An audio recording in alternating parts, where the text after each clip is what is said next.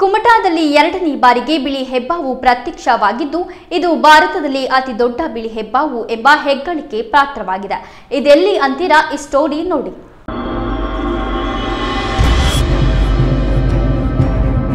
ಇದು ಭಾರತದಲ್ಲಿ ಅತಿ ದೊಡ್ಡ ಬಿಳಿ ಹೆಬ್ಬಾವು ಎಂಬ ಹೆಗ್ಗಳಿಕೆಗೆ ಪಾತ್ರವಾಗಿದ್ದು ಉರುಗತಜ್ಞ ಸ್ನೇಕ್ ಪವನ್ ಅವರಿಂದ ರಕ್ಷಣೆ ಮಾಡಿ ಕಾಡಿಗೆ ಬಿಡಲಾಗಿದೆ.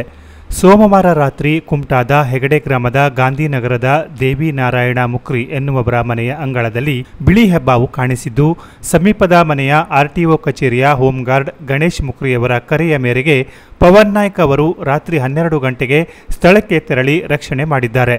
ಕಳೆದ ವರ್ಷವಷ್ಟೇ ಮಿರ್ಜಾನ್ನಲ್ಲಿ ಸಣ್ಣ ಗಾತ್ರದ ಬಿಳಿ ಹೆಬ್ಬಾವು ಕಾಣಿಸಿದ್ದು, ರಾತ್ರಿಯ ವೇಳೆ ಪವನ್ ನಾಯ್ಕ್ ಹೋಗಿ ರಕ್ಷಣೆ ಮಾಡಿದ್ದು ರಾಷ್ಟ್ರಾದ್ಯಂತ ವೈರಲ್ ಆಗಿತ್ತು. ಈಗ ಬಹುತೇಕ ಮೂರು ಪಟ್ಟು ದೊಡ್ಡ ಗಾತ್ರದ ಹೆಬ್ಬಾವು ಹೆಗಡೆಯಲ್ಲಿ ಕಾಣಿಸಿದ್ದು, ಜನರು ಭಯಭೀತರಾಗಿದ್ದು ನೂರಾರು ಜನ ನೆರೆದಿದ್ದರು.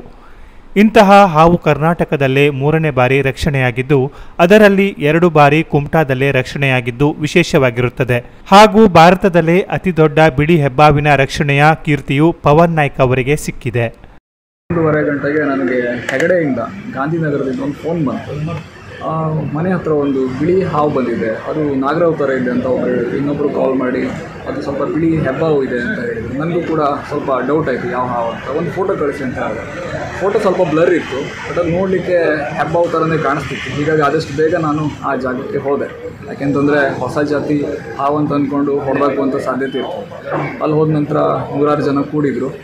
ಅದು ಬಿಳಿ ಹೆಬ್ಬಾವಾಗಿತ್ತು. ನನಗೂ ಕೂಡ ಒಂಥರ ಆಶ್ಚರ್ಯ ಇತ್ತು. ಯಾಕೆಂತಂದರೆ ನನಗೆ ಲಾಸ್ಟ್ ಇಯರು ಇದೇ ಟೈಮಲ್ಲಿ ಆಗಸ್ಟಲ್ಲೇ ಒಂದು ಐದು ಅಡಿ ಉದ್ದದ ಒಂದು ಹೆಬ್ಬಾವು ಸಿಕ್ಕಿತ್ತು, ಬಿಳಿ ಹೆಬ್ಬಾವು. ಅದು ಕರ್ನಾಟಕದಲ್ಲಿ ಎರಡನೇ ರೆಕಾರ್ಡ್ ಆಗಿತ್ತು. ನಂತರ ಅದೇ ಒಂದು ವರ್ಷದಲ್ಲಿ ಮತ್ತೆ ನನಗೆ ಒಂದು ಬಿಳಿ ಹೆಬ್ಬಾವು ಸಿಕ್ತು ಇದು ಒಂಬತ್ತು ಪಾಯಿಂಟ್ ಮೂರು ಅಡಿ ಉದ್ದ ಇದೆ. ಇದು ಭಾರತದಲ್ಲೇ ಒಂದು ರೆಕಾರ್ಡ್ ಆಗಿದೆ. ಯಾಕೆಂತಂದರೆ ಭಾರತದಲ್ಲಿ ಇದುವರೆಗೂ ಇಷ್ಟು ಇಷ್ಟು ಉದ್ದದ ಒಂದು ಹೆಬ್ಬಾವು ಇದುವರೆಗೂ ಸಿಗಲಿಲ್ಲ ಹೀಗಾಗಿ ಇದು ಭಾರತದ ಅತಿ ಉದ್ದದ ಒಂದು ಬಿಳಿ ಹೆಬ್ಬಾವಾಗಿದೆ. ಹೀಗಾಗಿ ಇದೊಂದು ನ್ಯಾಷನಲ್ ರೆಕಾರ್ಡ್ ಅಂತಲೇ ನನಗೆ ಅನಿಸ್ತಾ ಇದೆ.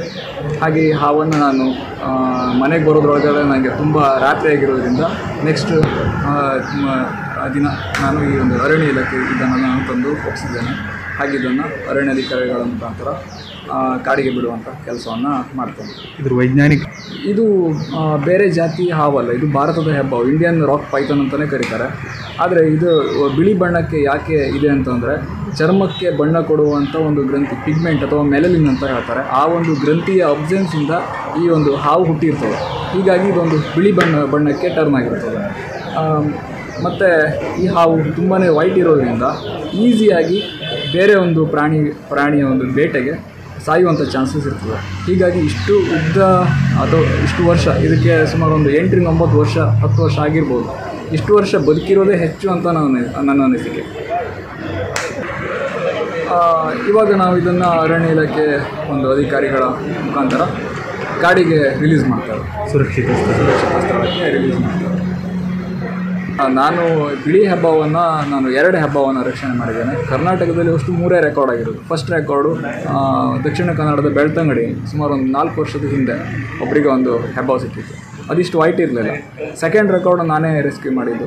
ಕರ್ನಾಟಕದಲ್ಲೇ ಸೆಕೆಂಡ್ ರೆಕಾರ್ಡು ಅದು ಮಿರ್ಜಾನ್ನಲ್ಲಿ ಲಾಸ್ಟ್ ಇಯರ್ ಇದು ಮೂರನೇ ರೆಕಾರ್ಡ್ ಕರ್ನಾಟಕದಲ್ಲೇ ಮೂರನೇ ರೆಕಾರ್ಡ್ ಇದನ್ನು ಕೂಡ ನಾನೇ ರೆಕಾರ್ಡ್ ನಾನೇ ರೆಸ್ಕ್ಯೂ ಮಾಡಿದ್ದು. ಕರ್ನಾಟಕದಲ್ಲಿ ಮೂರು ಬಿಳಿ ಹೆಬ್ಬಾವಿನಲ್ಲಿ ಇನ್ನು ಈ ಬಿಳಿ ಹೆಬ್ಬಾವನ್ನ ಕುಮಟ ಕುಮಟಾ ಅರಣ್ಯ ಇಲಾಖೆಯ ಸಹಕಾರದಿಂದ ಅರಣ್ಯಕ್ಕೆ ಬಿಡಲಾಗಿದೆ. DFO Ravishankar ACF G Lohith RFO S T Patgar ಸೇರಿದಂತೆ ಅನೇಕರು ಇದ್ದರು. ಹಾವಿನ ಛಾಯಾಗ್ರಹಣವನ್ನ ಪ್ರಸಿದ್ಧ ಛಾಯಾಗ್ರಾಹಕರಾದ ಗೋಪಿ ಜೋಲಿ ಅವರು ತಮ್ಮ ಕ್ಯಾಮೆರಾದಲ್ಲಿ ಸೆರೆ ಹಿಡಿದಿದ್ದಾರೆ.